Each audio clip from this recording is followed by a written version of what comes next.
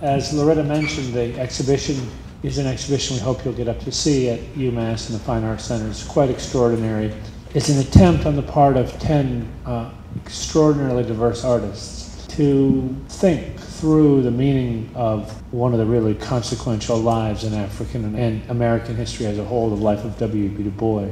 We had a wonderful opportunity when, when Loretta asked me and the group KOS, Kids of Survival, to uh, work on a work that would be inspired by the great life and legacy and spirit, and I would say love, of W.E.B. Du Bois.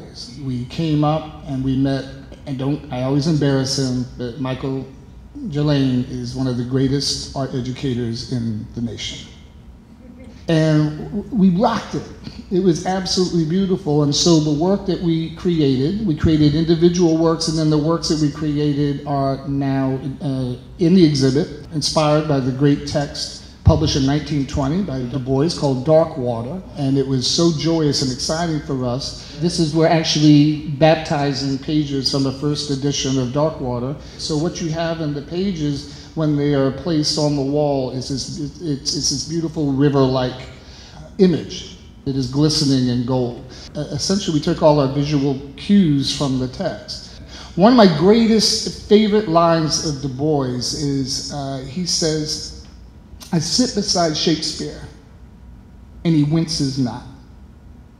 That moved me at a very young age, and I never, in my wildest dreams, thought that I would be placed in a position where I could take that sentiment and put it into daily action for the transformation of young lives, institutions, and communities. And I'm a witness that our project helped do that.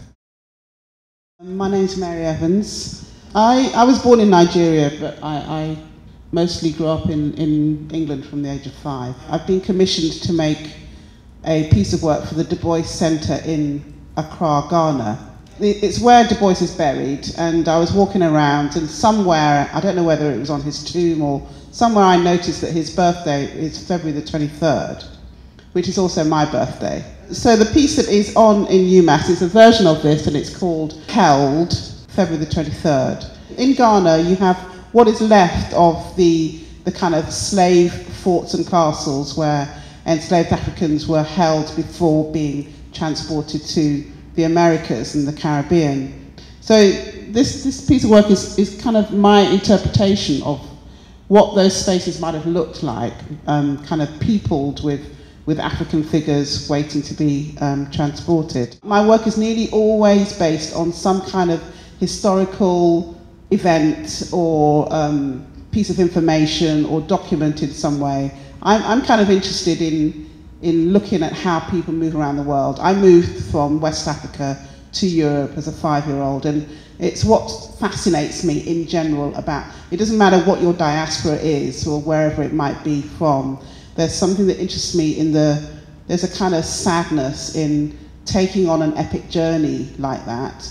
And the hope is that one day you will return to, to that place. But then there's a kind of resignation, I think, also. You, live, you can live for 50 years with the resignation that you'll never return. And that's one of the things that kind of inspired me about Du Bois. He, he was proud to be African American, but he, he campaigned to be seen as an American and to have the civil rights that was due all Americans and in the end all humankind, you know. So he, he moved around the world. He was an internationalist and he was a Pan-Africanist. And that's kind of what I'm interested in, in, in being involved in this project. I'm Latoya Ruby Frazier. I am an artist and a photographer from Braddock, Pennsylvania. Braddock is a historic steel mill town located nine miles outside of Pittsburgh, Pennsylvania and it runs along the Monongahela River. Two historical significant things about Braddock is that it's the first uh, town where Andrew Carnegie's steel mill, the Edgar Thomson plant, is located um, since 1872.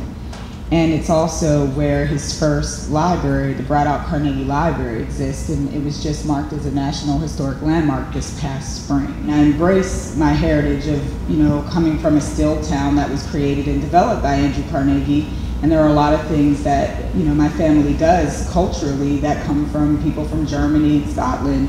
And so I feel very much a, a part of that. And so my work is a corrective to that history and that omission, and also uh, addressing a lot of uh, not only social and economic concerns, but environmental concerns. Anyone who is born and raised from Braddock and is still there today is suffering from terminal illnesses. You know, as a youth that was very aware that I was born into poverty and a harsh reality, the only thing I knew to do was to pick up a camera in 1930, he addressed the, the crowd and said, I'm going to talk about something from a philosophical point of view that you're not going to expect. The condition of the Housatonic River. You know, he lived next to that river, and what he witnessed was that people, you know, threw waste in it, and basically the town turned its back on this river. I think that it's very important for people to be aware that Du Bois had environmental concerns. And uh, this is something that is seldomly discussed or talked about. People don't think of Du Bois as an environmentalist. It was just very important for me to highlight that about Du Bois. Our injuries have to be acknowledged in some way, and this is the way I know how best to do that. Um, I'm Demaya, and I did a, the project with Tim Rollins, and I'm from the Springfield Renaissance School, and I'm in eighth grade.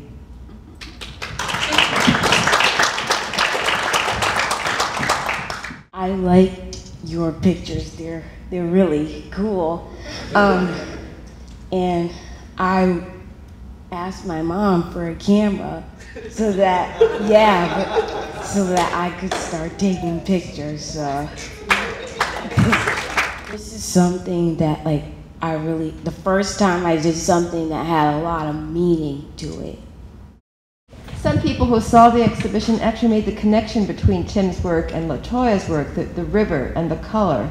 Yet a beautiful golden glow. What is that golden glow? So it's, it's just a beautiful, beautiful way to, to think about the interconnectedness of all four of you having produced this amazing Thanks project. very much, everybody. That's good. Thank you.